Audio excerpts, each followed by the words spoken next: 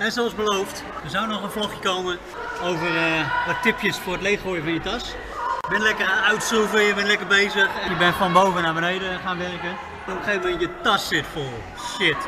Maar je moet nogal een stuk. Ja, dan kun je twee dingen doen. Ga je dan helemaal naar beneden, tas leeggooien, weer omhoog. Word je moe van, dus dat willen we niet.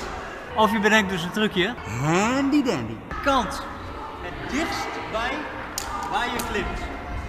Heb je boven aan je tas vast. Hou het verst van je vandaan. Aan de onderkant. Let op. Tas laten zakken helemaal vol.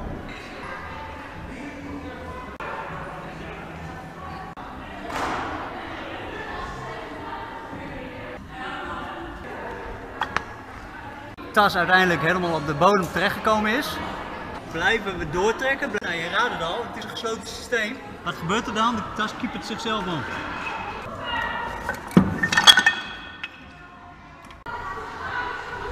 En mijn tas is leeg. En mijn greepjes blijven allemaal netjes liggen als je het goed doet. Doe een beetje schudden.